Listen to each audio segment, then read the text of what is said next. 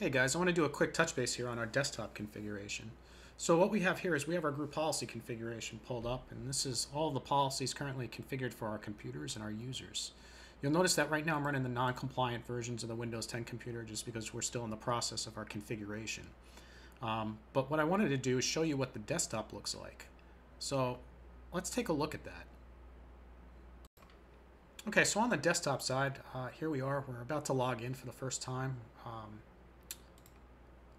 we'll see that we get our uh, control, you know, indicating that we're logging into a secure infrastructure. You could change this to whatever you want. Um, I just left it the default from the CIS benchmark for the sake of this. Uh, but at any rate, so we'll click OK. We'll go to log into our fake Liz account.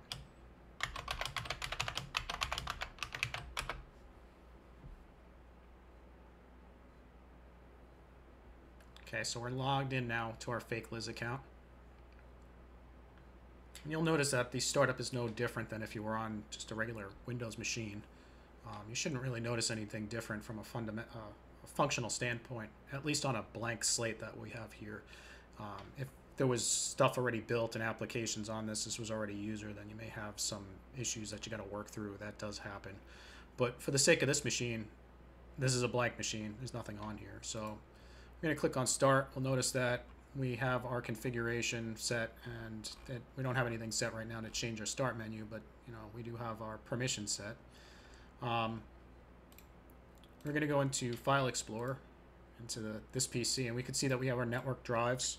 So we, we, let, we added our, our, our, fake Liz account to the uh, permissions to access our network shares we set up in our previous video. Um, we didn't give her access into the accounting department, and I did that on purpose so you could see that if you use a single policy to apply, um, you could just define who has access to what through a security group, and if you don't give the person access to all the security groups, you just get a blank um, directory, and basically it'll tell you, you don't have permissions to access. Now, when I double clicked on that, what that's going to do is that's going to create a audit report on the file server. So if I logged into the file server now and I went into the uh, event viewer, we could actually see that I attempted to access that account. Um, that can be helpful for like administrators, so administrators could reach out and find out if there's a reason a user wanted to try to access it. Um, at any rate, so let's uh, jump now and go into the control panel. So we'll just do run and do control. And then we'll do uh, view devices and printers. And here we go. We have our fake company printer. Now I didn't give us access to the uh, um, to the accounting printer, just the fake company printer, and it's it's right there. So our policy is working to deploy our printers. Uh, now, if you guys ever needed access to the actual files server to actually just manually install the printers, you could still do that. Just so you know, the configurations we set up will allow it to automatically apply to the machines. But if you have a one-off situation where you just need a single user to have access, as long as that user is part of the security group, um, you could just whack whack to the server to access it.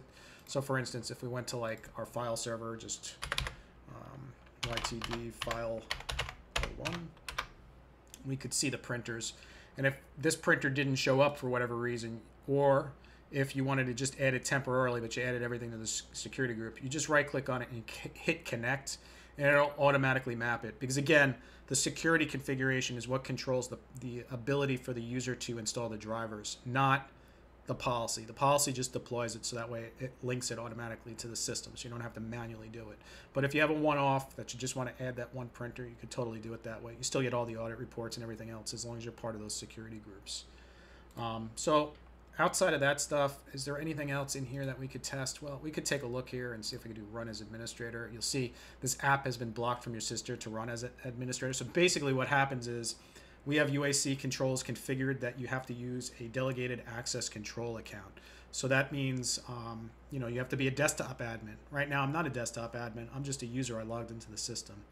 You could change this if you wanted to. You could go through the UAC controllers and add the ability to, um, you know, uh, to launch as a secondary screen or a secure location to allow an administrator to put in credentials to run an application. But in a compliance world, that's not allowed. So if you're running NIST, you can't have that. This is the way it's supposed to be.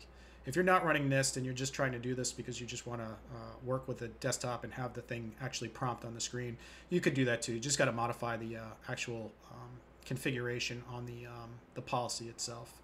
So at any rate, so we just hit close. That's that's an additional portion of the policy configuration. Um, but yeah, so as we could see, everything's working fine. So we're in good shape. Uh, we'll continue on with the next series of videos to go through the, the uh, fine tuning of the policy configuration. I'll show you how to change the UAC controllers if you want that prompt. And uh, we'll continue to work through these uh, configurations. Maybe we'll dip into some DFS for uh, file replication services on uh, two different file servers.